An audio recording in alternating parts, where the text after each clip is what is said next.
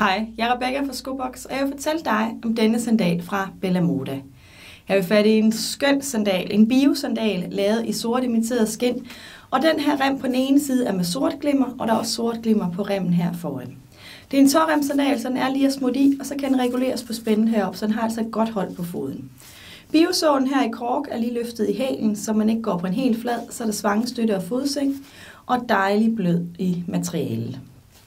Det er en god idé lige at imprægnere den her med imprægnering til imiteret skin, og så kan man altid lige rense bunden herinde med sandal cleaner eller kombi cleaner, så man har en ren og pæn sandal at tage på. Har du lyst til at vide mere om sandalen, så spørg mig eller kig forbi.